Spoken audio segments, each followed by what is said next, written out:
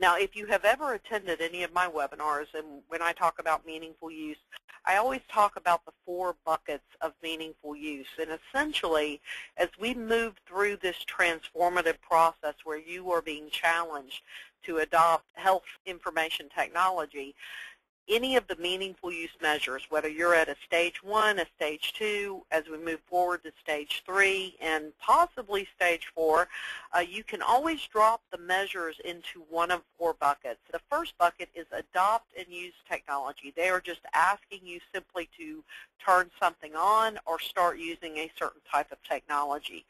Measures may also go into a bucket for capture data. Now this becomes very important because a lot of what's going to happen in the reform of our reimbursement system, and again this gets triggered by the king who makes the rules. So this has been triggered by legislation, namely the Affordable Care Act, so you can expect your commercial payers to follow suit with this. But our blanket fee-for-service reimbursement is going to go away in the long term.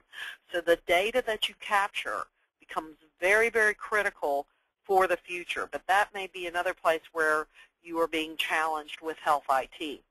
The next bucket is moving data interoperably between disparate systems. And this is for typically coordination of care, transitions of care, which is one of the things we're talking about today.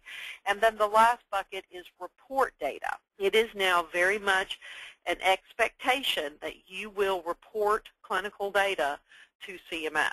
They have removed this as a formal measure. It is now part of the definition of being a meaningful user.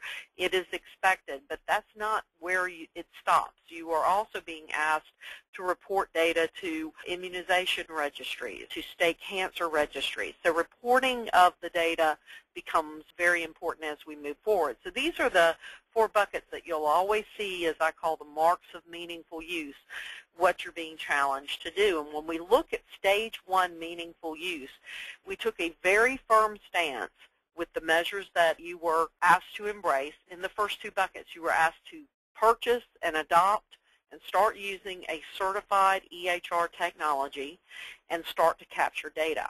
When we got into the other two buckets of moving data and reporting data, it was a lot of positioning. It was a test of exchanging data with another provider. It was a test of submission of data to an immunization registry.